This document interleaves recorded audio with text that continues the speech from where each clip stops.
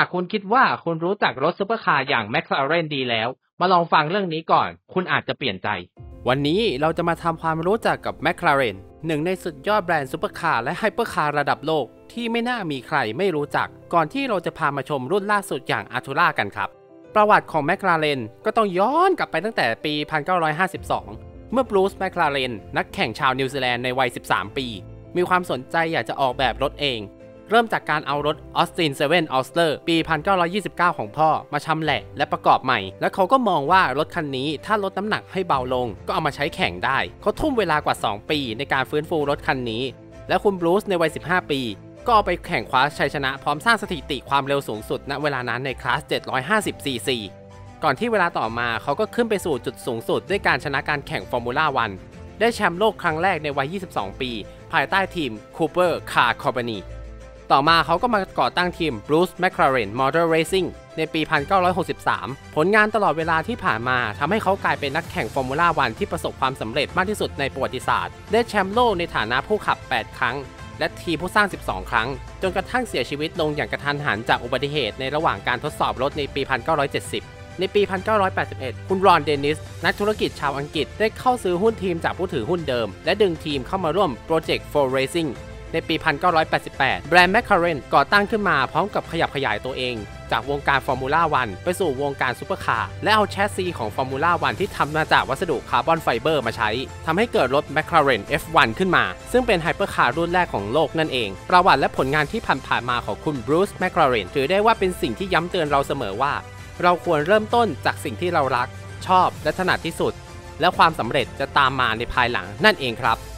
โอเค จบประวัติที่น่าสนใจของแบรนด์ McLaren แล้ว เรามาดูรถขุมพลัง Plug-in Hybrid รุ่นล่าสุดของ McLaren ดีกว่า กับ McLaren Artura ครับ มา มาแอบดูก่อนกลัวมือเป็นรอยมากเลย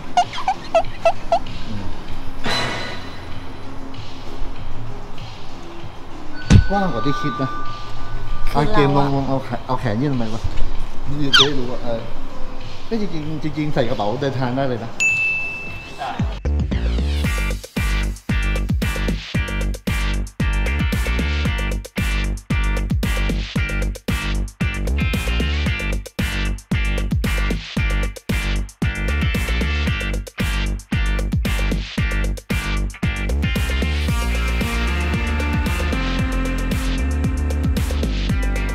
สวัสดีครับขอสวัสดีครับแนแนะนำตัวหน่อยค่ะคุณอะไรเอ่ย เออผมเอ็มนะครับ ตอนนี้ก็เป็น instructor แล้วก็เป็นเซลล์ที่ McLaren Bangkok ครับ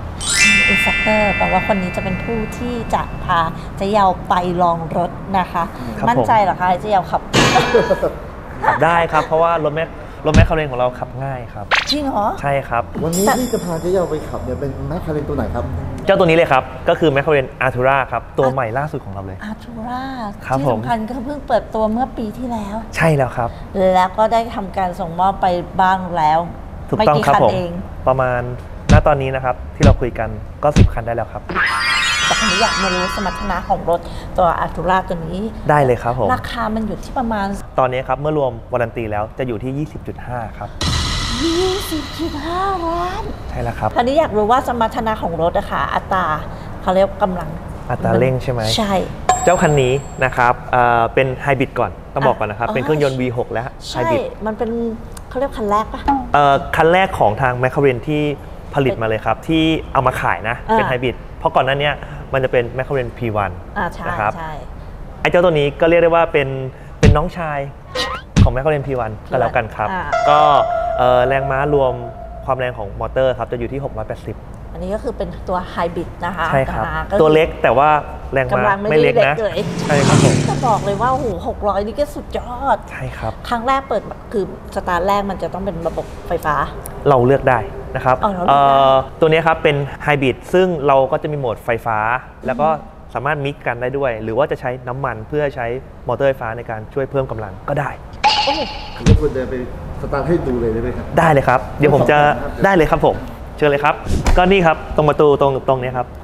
กดแล้วก็ยกขึ้นได้เลยครับ เออนั่นแหละเมื่อกี้กด นี่อันอันนี้มันเปิดแล้วพี่ ยกขึ้นได้เลย อ๋อ เราต้องใช้แรงเลยอ่าแล้วแต่แรงนะไม่ ต้องปิดก็สตาร์ทได้ใช่ไหมฮะได้ครับเอผอมเหมือนเมื่อกี้เราสตาร์ทเราไม่ต้องปิดสตาร์ทได้ส่วนส่วนไปส่วนมานะครับเออเอ่อตัวนี้ก็เข้ามาถึงมันก็จะมีพวกระบบ Comfort Entry Comfort Exit นะครับ เราแค่ดึงตรงนี้เข้าหาตัวบอกกับพวงมาลัยก็จะเข้าเข้ามาหาเราในตำแหน่งที่เราเมมโมรีอ๋อไว้เลย ก็คือเราตั้งไว้ ใช่ครับ เวลาเราออกบอกก็จะเลื่อนออก แล้วก็พวงมาลัยก็จะเก็บเข้าไปให้เราด้วยอ๋อมันทำให้เราเข้าออกสะดวกง่ายขึ้นขึ้ครับนถูกต้องครับผมนะครับเห็นอยู่ว่า ตอนที่เขาเข้ามานั่งฟูลแล้วบอกมันจะค่อยๆถ่ายออก ถูกต้องครับ แล้วก็บอร์ดตัวนี้สามารถ save memory ได้ถึง 5 คนห้าห้าคนห้าสรีระใช่ครับ เดี๋ยวผมจะสตาร์ทให้ดูเลยนะครับ ทีนี้เราจะเริ่มจากเอ่อระบบไฟฟ้าก่อนก็แล้วกันนะอ่าครับอะเมื่อกี้ตอน เรียบร้อยครับ อันนี้คือรถเราสตาร์ทแล้ว เสียงก็จะเป็นอย่างนี้เลย เราสามารถขับไปข้างนอกได้แล้วก็นะคืคอรับออกจากไฟฟ้าไปก่อนเลยถูกต้เลี้อยงงครับระดับไฟฟ้าไปก่อนแต่อัตรามันอาจจะไม่ได้แรงพรวดพราดตั้งแต่ เร่งตอนแรกเลยครับผมก็จะเป็นการทำงานของมอเตอร์ไฟฟ้า อย่างเดียวก็จะมีกำลังประมาณ 95 แรงม้าอ๋อเข้าสิบห้าแรงนะม้าครับมันดีสำหรับเวลาเราจะขับรถออกไปจากเขตชุมชน มันจะได้ไม่ลำคาญอืมคนรอบข้างด้วย แล้วก็เวลากลับเข้าบ้านเนี่ยอย่างเงี้ยครับ มันก็จะเงียบเงียบด้วยอืมใช่ครับ และถ้าเกิดเราขับออกไปบนถนนแล้วค่ะนะครับ อยากจะเปลี่ยนจากโหมดไฟฟ้าเป็นโหมดเอ่อเครื่องยนต์เราก็แค่ปรับโหมดตรงนี้ครับนี่เครื่องยนต์ก็สตาร์ทเลยแค่นี้เลยครับ เราสามารถเลือกเลือกใช้ได้เลยครับว่าจะเลือกใช้ไฟฟ้าล้วน หรือว่าไฟฟ้าสลับกับเครื่องยนต์ หรือว่าเครื่องยนต์โดยมีไฟฟ้าเเพิ่มกำลังโอเคต้องบอกอย่างนี้ก่อนนะครับว่าเครื่องยนต์เนี่ยคันนี้ครับ V6 3 ลิตรเนี่ยครับแรงม้าอยู่ที่ประมาณ 585 แรงอ่าม้าใช่แล้วก็มีมอเตอร์ไฟฟ้าอีก 95 แรงม้าในการที่จะเข้าไปช่วยเสริมกำลังของเครื่องยนต์อ๋อก็ทำเพื่อให้ที่จะลดอาการเทอร์โบแลกแล้วก็ตอบสนองในย่านความเอ่อเขาเรียกว่าอะไร ย่านรอบต่ำให้มันดีขึ้นนะครับเพราะเพราะฉะนั้นแล้วรถคันนี้ครับก็จะขับสนุกมากยิ่งขึ้น จากอ่500 กว่าแล้วเพิ่มไปอีก 95 ครับ ก็เป็นแล้วก็680โอ้ไม่น้อยนะโหสุดยอดไม่น้อยนะครับ แล้วก็เป็น 680 ที่สามารถใช้ได้จริงด้วย เพราะว่าระบบการช่วยเหลือในการขับระบบ traction แล้วก็ handling ของ m c l a r e n นี่คือสามารถทำให้ผู้ขับขี่ครับสามารถขับได้ง่าย ผู้หญิงก็สามารถขับได้ สามารถใช้ได้ทุกวันมีความสะดวกสบาย โอ้มันใช้ได้ทุกฟังก์ชันเนาะ และที่สำคัญครับลำโพงของรถคันนี้ดีมาก เป็นลำโพง Bauer and Bilkin ด้วยนะครับ มันก็ช่วยให้เราแบบมีอรรถรส ในการฟังเพลงเพิ่มมากยิ่งขึ้น หรือถ้าเราอยากจะสนุกเราอยากจะใช้ performance ของรถนะครับ คันนี้มันก็สามารถทำตอบสนองให้กับเราได้ ครบถ้วนนั้นเดี๋ยวเราไปดูฟีลลิ่งในการขับรถกันว่าเป็นยังไง ที่เขาเป็นคนเทสให้เราก่อนครั้งแรก ก่อนที่จะยามจะลงมือขับเอง ได้เลยครับ งั้นเดี๋ยวผมขออนุญาตเป็นคนพาพี่เยาออกไปขับรถกันนะครับได้เดี๋ยวเราค่ะไปสนุกกัน ได้เลยครับผมขอบคุณค่ะ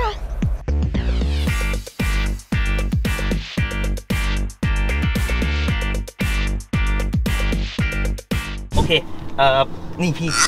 สามารถวางมือถือตรงนี้ได้ค่ะ ได้เลยเขาทำมาแล้วก็ไอ้ตรงนี้ก็วางได้เก็บอ้าวจริงเหรอของเฉพาะคนขับนะอ๋เพอราะว่าเวลาผมขับรถอย่างเงี้ยเวลามีลายเด้งผมจับอย่างเงี้ยผมก็แง้มๆดูลายได้อะไรอย่างเงี้ยใช่ครับเขาแบบคิดทุกอย่างเลย แล้วก็ช่องอันเนี้ยไม่เสียเงินนะวางแก้วอะไรมีให้เลย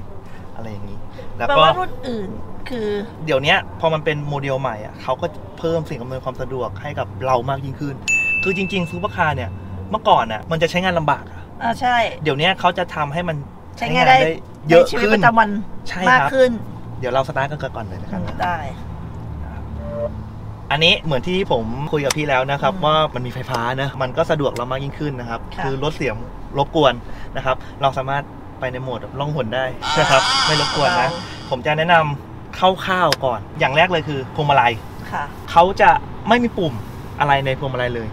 เขาต้องการจะให้ไว้สำหรับบังคับรถจริง ๆ ถ้าเป็นแบรนด์อื่นๆเนี่ยพวงมาลัยอะตอนนี้เขาก็จะเป็นทางด้านของไฟฟ้าหมดแล้วอ่าใช่นะครับแต่แมคคาเรนยังคงใช้ไฮดรอลิกที่จะได้ความสมจริงของถนนอะพื้นถนนจริง ๆ ความรู้สึกจริง ๆ เรียวๆ ด้านหลังนี้จะเป็น paddle shift นะครับ ก็เหมือนปกติเลยครับ ทางด้านขวามืออันนี้เป็นการ shift up เกียร์นะครับ ทางด้านซ้ายมือเป็นการ shift down เกียร์ แต่สิ่งที่พิเศษของทางแมคคาเรนนะครับก็คือไอ้ฝั่ง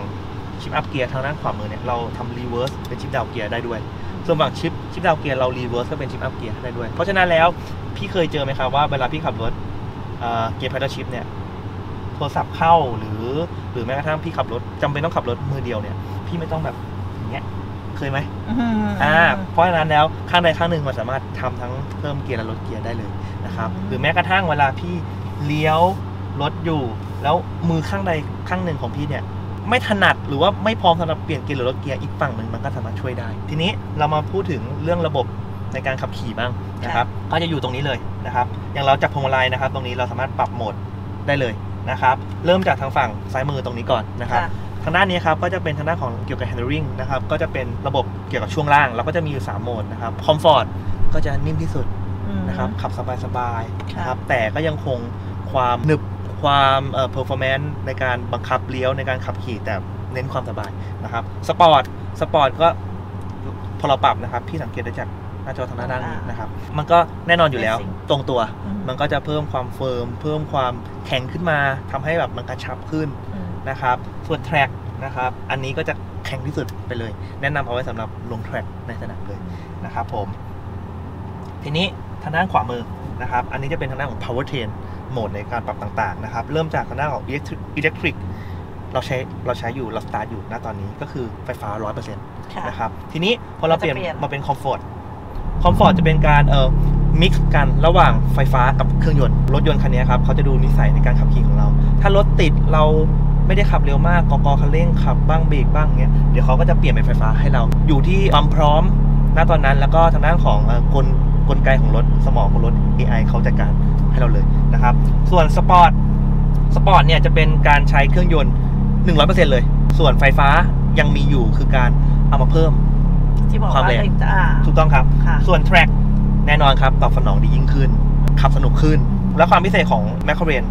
เวลาเราปรับโหมดสปอร์ตหรือว่าโหมด track เนี่ย เราไม่จำเป็นจะต้องปรับช่วงล่างเป็นสปอร์ตด้วยอ่าเราเลือกได้เลยว่าเราจะปรับ power train sport หรือว่าช่วงล่างนิ่มๆ หรือ power train comfort ช่วงล่างแข็งคือเราสามารถดีไซน์มันได้เลย custom มันได้เลย ซึ่งมันต่างจากเอ่อรถทั่วไปที่แบบสปอร์ตก็จะสปอร์ตทั้งหมดเลยอืมอืม track ก็คือ track ทั้งหมดเลยเราเราอ๋อมันสามารถปรับได้กลางทางได้ไม่ได้ปรับได้ตลอดไม่ต้องจอดรถเลยครับอ๋อไม่ขัต้องไปจอดปรรัถบไปอ๋อแล้วแต่เราเลย มันก็จะเปลี่ยนตามการใช้งานของเราตลอดแล้วมันไม่มีความเออของ AI ที่มันใจเนี่ยไม่มีเลยครับ เดี๋ยวผมแสดงให้ดูเลยอืมอ่านะครับผมคร่าวๆก็จะประมาณนี้เกี่ยวกับการขับขี่นะครับไฟเลี้ยวไฟเลี้ยวอยู่ทางด้านซ้ายมือ ค่ะนะครับขวามือจะเป็นเอ่อบัตรบัตรไปฝฝนนฝนนะครับแค่นี้แล้วก็ทุกอย่างจะถูกจับมาอยู่ในหน้าจอนี้ ทั้งหมดเลยเจ้าอัชูล่าเนี่ยเราจะมีโหมดนี้ด้วยโหมด VDC นะครับเอ่อโหมด variable dip control เนี่ยคือเราสามารถตั้งองศาในการ drip และก็พอถึงองศาจุดจุดๆหนึ่งอะ traction จะเข้ามาช่วยอืมมันฉลาดถึงขั้นนั้นเลย เดี๋ยวผมจะอ่านเดี๋ยวผมจะแสดงให้ดูให้เห็นภาพนะครับเราเปิดตรงนี้นะครับ ทีนี้ เราจะเปิดระบบ VDC แล้ว แล้วมันเราเปิด on เนี่ยครับ เราสามารถเลือกได้เลยนะครับ เนี่ยปรับตามไอ้นี่เราได้เลย จิ๊บ สมมติเราให้ปิดปิดปิดแอคชั่นจนถึงจุดนี้ พอรถ drift รถ oversteer จนถึงจุดนี้ปุ๊บ traction เข้ามาช่วยตัดปึ๊กนะครับ มันทำให้แบบว่าคนที่ขับรถไม่เก่งก็ ดูเก่งขึ้นได้แล้วขับรถเก่งก็จะเก่งขึ้นมาอีกด้วย อะไรอย่างนี้ด้วย แต่ทีนี้ทั้งนี้ทั้งนั้นคือแนะนำให้ไปขับในสนามใช่มากกว่าขับบนท้องถนนไม่ต้องนะครับเพราะขับบนท้องถนนเราจะเน้นเรื่องความปลอดภัยอะเซฟตี้กันนะครับ ทีนี้เดี๋ยวเราไปกันเลยพร้อมแล้วหรือยังครับ ได้ค่ะได้โอเคขออนุญาตข้ามอย่างพันก่อนได้นะครับค่ะเดี๋ยวเราจะออกไปแบบออกไปเงียบเงียบๆโดยการใช้ไฟฟ้าก่อนละกันนะครับผม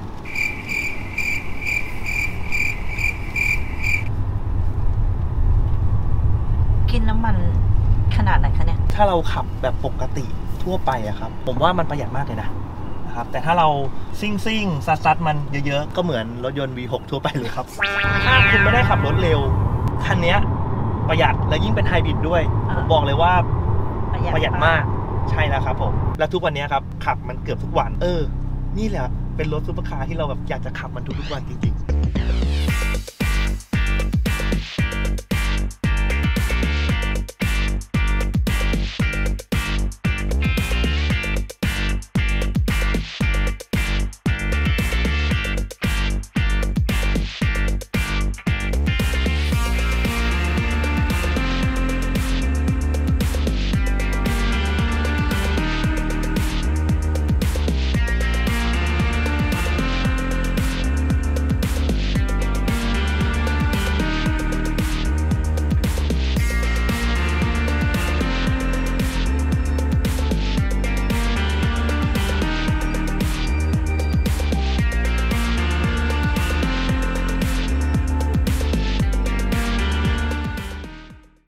แล้วแบบ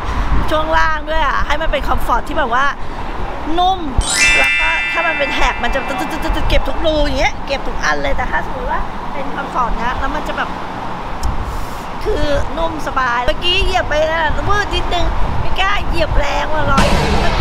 ค่ร้อยสี่ร้อยหกเองอะถ้าใครอยากมาลองก็ขอโชว์รูมเขามาทดสอบลองได้คือบุคคลธรรมดาก่อนที่จะซื้อก็มาลองดีกว่า เพราะว่าคุณจะได้รู้ว่ามันใช้ได้จริงกับกับการทำงานออกถนนก็ได้นะ เพราะตอนแรกก็แอบกลัวว่ารถใหญ่แล้วแบบมันแพงอะแล้วคนอื่นข้างๆเลยแต่ไม่นะเมื่อกี้ก็แบบรถเขาก็ไปเหมือนชีวิตประจำวันทั่วๆไป เราก็ซัดไปทั่วๆไปเลยแต่แบบ ต้องถนนโล่งๆนะ เราไม่ได้แบบว่าไปซัดอย่างนั้นแต่หมายถึงพอโล่งเราก็เหยียบได้ เราไม่ได้เหยียบแบบผิดกฎหมายอย่าง200กว่า แต่เราเหยียบแบบฐานะทำงานอะไรเงี้ยนี่ยถือว่าโอเค